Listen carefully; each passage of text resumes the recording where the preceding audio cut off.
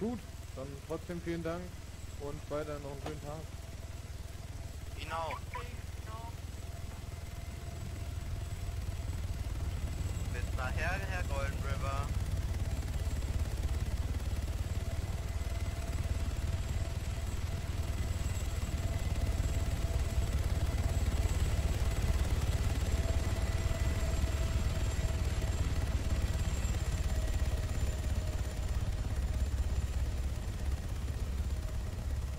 Schüsse. Hat der auch einen Schuss gehört. Hier rechts Hat- irgendwo. Hat sich nach was Großkalibrigen angehört, oder? Hm, nee. Also nicht. Da. Das nee, ist Großkalibrige. Uah. Ja, da brauchen wir ist gar nichts das? machen, da haben wir doch keine Chance, Alter. Do good, man. Äh, relativ. Chancen haben wir schon.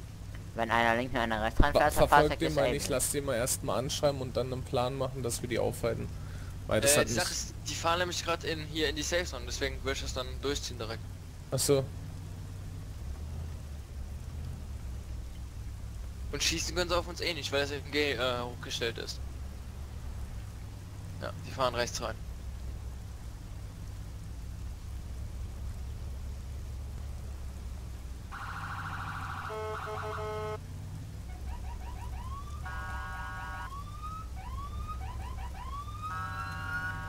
Nein, nein, nein, nein, nein, nein, nein, nein, nein. Du kommst nicht aus der Safe Zone raus.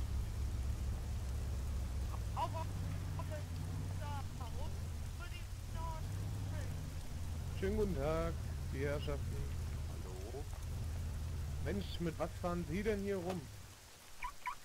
Weiß nicht, ob Ihnen bewusst Ähm, ist an der Stelle, warum du bitte an die andere Seite. Mein Name ist Das Hauptmeister ist Ralle Voll. schlimm.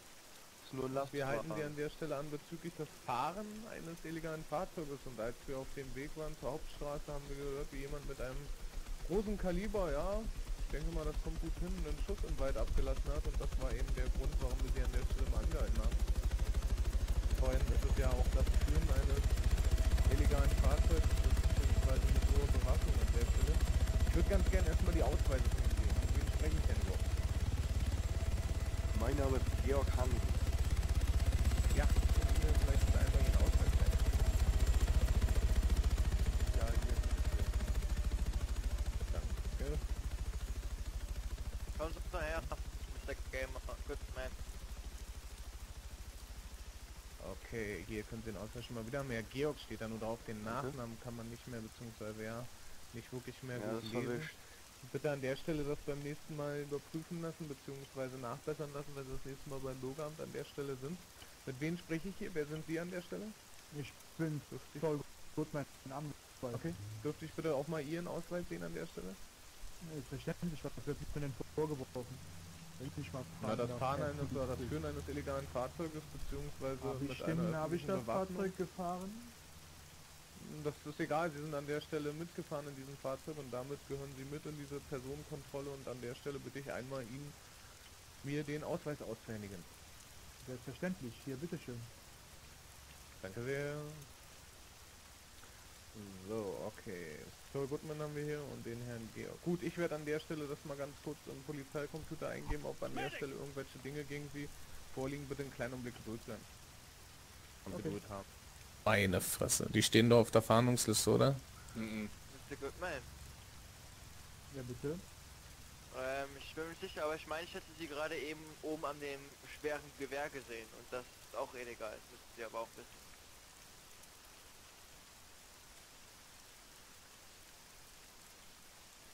Ja, aber wenn Sie sich nicht sicher sind, dann ist es ja egal. Na, ich bin Können mir Sie sich ja ziemlich wieder bei sicher, mir melden, wenn Sie sich sicher sind. Ich bin mir ziemlich sicher. Ich wollte eigentlich nur ein Geständnis User rausbrechen, joined aber your channel. Abend. Na, wenn. Abend. ich bin ziemlich sicher. Warum ist kein auf Server Protokoll 2? nämlich Nur Ihre Aussage ist Keine Ahnung. Nicht ganz sicher, Wir waren eben noch auf Server 2, da war es zu voll, deswegen sind wir auf Server gerade 3 gegangen. Ganz sicher, waren sie da oben gerade auf dem Der Georg hat mir gerade eine gegeben. Flasche Whisky äh, auch die gegeben. Chance zu geben, das zu gestehen. Aber wenn sie es nicht gestehen möchten, dann können wir uns gerne die Aufnahmen vom Polizeiwagen angucken. Oh ja, sehr gerne. Dann kommen Sie mal mit ran. Welche Aufnahmen? Steigen Sie bitte mal als Beifahrer vorne oder hinten an der. Stelle schon mal nichts rausgeschmissen. Ich Ihnen hier schon mal Ihren Ausweis wieder, Herr Georg. Bitte. Danke. Führen Sie denn an der Stelle noch irgendwelche illegalen Gegenstände mit sich an der Stelle? Irgendwelche illegalen Waffen Nein, oder nein. sonst irgendwelche Dinge, die an der Stelle gesetzeswidrig wären? Nee. Auch sowas wie Alkohol. User joined your channel. Servus Osborn. Abend. Moin Microphone Herr. Moin. Georg, führen Sie Alkohol mit sich? Simon, wie geht's? Nein.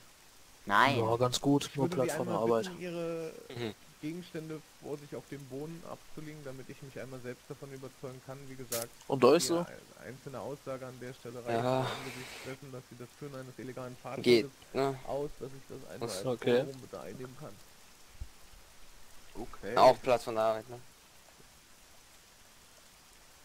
Von wann bis wann bist du arbeiten? Ähm, sieben, aber ich muss in die nächste Stadt. Ja, also die Baustelle ist auf der nächsten Stadt. Okay. In der nächsten Stadt. Legen Sie Ach, bitte du einmal arbeitest auf dem Bau. Und Ihre Weste Ja, ja. der Stelle ab. Okay. Ich hab's zu Fuß maximal eine halbe Stunde zur Arbeit, aber Danke. Ich werde einmal Dafür in der Küche. anlegen, deswegen... ist natürlich auch nicht so geil. Du auch macht? Spaß und so definitiv, aber Stress pur. Als du muted. auch einmal... Äh, Küchenhilfe. Beziehungsweise okay. momentan. Ich habe diese Sachen untersucht, doch leider kann ich dort nichts feststellen. Die sind total leer. Können sich ja selber mal davon überzeugen. Okay.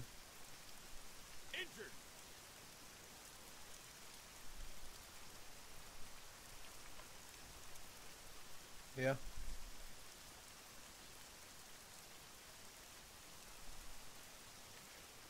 Okay, Herr Georg. Das passt schon mal an der Stelle, das heißt, Ihre Dinge können Sie gleich wieder aufheben. Ähm, haben Sie irgendwelche illegalen Gegenstände in dem Fahrzeug, die Sie mit sich führen? Nein, nein, alles sauber. Alles sauber. Okay, würden Sie mir einmal Einsicht in das Fahrzeug gewähren? Würden Sie mir einmal den Schlüssel aushändigen, dass ich mir selbst einen Überblick darüber verschaffen darf? Ja, Moment. Oder beziehungsweise ihren Kofferraum öffnen.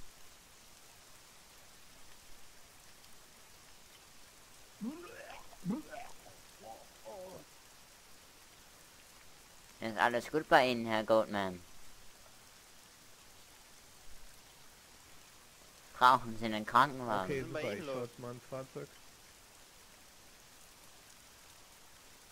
Ich glaube, der Herr braucht einen Krankenwagen. Der Herr Mitchell hat mich ins Auto gesperrt und wollte mich nicht mehr rauslassen. Ich habe Klaustrophobie. Nein, nein, nein, ich hatte doch Bitte rufen Sie einen. Krankenwagen, bitte.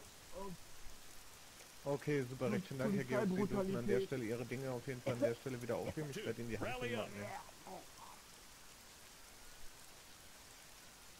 bitte rufen So, kommen wir zu. Ihnen. Herr Zoll Gutmann, geht es Ihnen an der Stelle gut oder werden Sie vielleicht ärztliche Behandlung benötigen?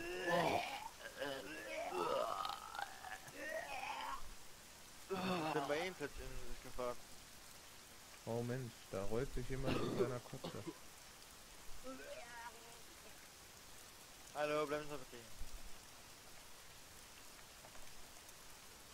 Ihr Fahrzeug äh, schleppen wir mal eben ab, weil das auch illegal ist, das wissen Sie ja. Ich bin so voll. Sie sind voll, haben Sie Alkohol getrunken oder? Nein, nein, nein. Dürfen wir bei Ihnen einen Alkoholtest durchführen? Ich hab nichts getrunken. Dürfen wir bei Ihnen einen Alkoholtest So, durchführen? würden Sie bitte einmal aufstehen? Ja, okay. Wir führen nun bei Ihnen einen Alkoholtest durch, wenn Sie damit einverstanden sind, Herr Georg. Dann bleiben Sie bitte mal hier. Kann er hier bleiben. Kleinen Augenblick bitte. Bitte. Da ist jemand mit einer Waffe. Ah, der hat eine Waffe. Wie viel ist der gesetzliche gesagt, Grenzwert? Dessen, ähm, Herr Saul Goodman, bleiben Sie bitte mal hier. Wie viel Alkohol darf man im Blut haben? Ich werde Ihnen an der Stelle mal jetzt die Handschellen anlegen, denn Sie befinden sich in einer Nein. Polizeikontrolle Nein. und ist das ehrlich gesagt Nein. etwas unangenehm. dass Mitchell? Nein, als Anwalt widerspreche ich. Ihnen. Ich will, ich bin weder bewaffnet, nein, Sie müssen mir die Handstellen abnehmen. Sonst würde ich, wenn Das ich ist nicht Anzeige weiter schlimm. Sie können Wie viel Alkohol darf man im. Blut Das haben? ist eine. Polizeikontrolle und Sie haben Nein. an der Stelle eine Polizeikontrolle? Folge zu leisten und deswegen ist es kein wo getan? Sie sich Dass aussuchen ich können, ob ich Ihnen die Handschellen Handschellen anlege anlegen oder auch nicht. Okay, ich, äh, Mitchell oder voll? Wie viel Alkohol darf man im Blut haben? Hier der Ge- Georg hat no- 0,92 Promille. Ich würde sagen 0,5. Ja. Ich auch. Microphone So. activated. Okay. Angesichts dessen, Ähm, Kollege Ihnen vermutlich gerade schon äh, 100.000 mitgeteilt plus hat im Auto, Beschlagnahmung. hat die Bandaufnahme von dem Falle. Fahrzeug, die Videoüberwachung gesehen, wie eine zweite Person, die zweifelsfrei Sie an der Stelle waren, Blabber. während der Ja. Fahrt an dem NG saßen. Das heißt, auch Sie activated. Ja, ja, ja, Sie ja, ja, ja. Siehst das auch, wenn du den kontrollierst, steht unten, sie sind über, vor allem auch sie sind bei oder über den gesetzlichen Grenzwert. Ah, ne? bekommen. Alles weitere Sie sind bei oder über dem gesetzlichen Grenzwert. BAC1, was ist das? Ja, das ist äh, Es hat, der Alkoholentus, was er momentan hat. er hat ja bei Alkohol dazugekriegt. Er hat ja Alkohol getrunken. Ja, Was hat denn der Alkohol User joined your channel. Hallo. Abend. Microphone Äh. Der Alkoholtest besagt, der nette Herr Georg hat ein Promille am Fahrzeugsteuer besessen. Seid ihr auf der neuen Map? Oh. ja, aber hier war gerade eben keiner, deswegen haben wir... Georg, ich weiß nicht, ob Ihnen das Uns hier unterbegeben. voraussetzt, Wir Moin. können aber auch, Moin. wir können aber auch gleich gerne auf Server 2 wieder wechseln. Ja, warte, ich Das komm heißt, mal rauf. Ich zieh mich auch mal rein. Äh, ja, ganz kurz. Sound resumed. beziehungsweise Alkohol am Steuer ist, hat das natürlich rechtliche Konsequenzen. Wir werden jetzt an der Stelle einmal uns mit der Zentrale Code schließen und dann werde ich gleich mal das Bußgeld ermitteln. Deswegen kleiner Augenblick, ich bin gleich wieder für Sie da. Sound resumed. Microphone activated. Nee, stör die jetzt mal nicht, stör die mal nicht. Ja, Mann, ja, dann lass einfach Haku gehen. Das sind noch fünf andere Jobs. Ey, Ja, sag mal, was ist denn jetzt hier eigentlich Fahren? Also erst Fahren, Alkohol am Steuer, Fahren vom illegalen Fahrzeug. Ich würde Ich sagen, bin der ein Bußgeld von 100.000. Das und ist eine eigentlich... Aussicherungszelle, oder? Ja, aber wir müssen nun schon gucken, wie sich das zusammenschließt. Gibt es denn überhaupt die Regel schon Alkohol Ich bin am auch Steuer oben. oder sowas? User left your channel. Ich bin mir sicher, ich meine nicht, aber ich schaue nochmal gerade nach.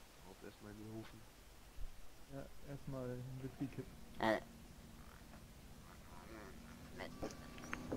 Also ich würde sagen, der kommt einmal in die Aussicherungszelle, der Georg, oder?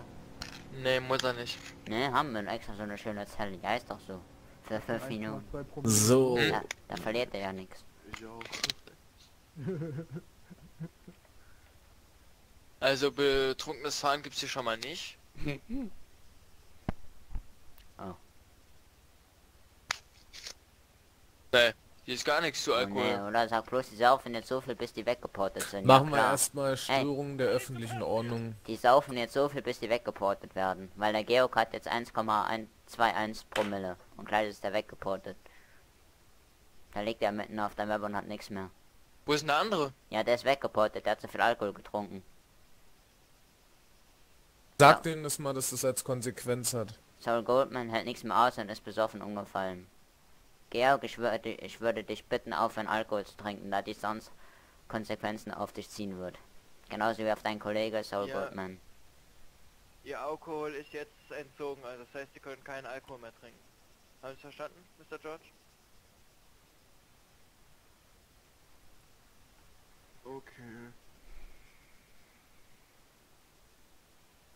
Überprüft bitte sein, ähm, seinen aktuellen... 1,2 Promille. Okay, wenn das sich steigern sollte, bringen wir den direkt in den Gas und warten gar nicht mehr länger. Weil dann ist das Bug-Using. Und weg ist Ja, toll, weg ist er. er. Ich hab, ich drück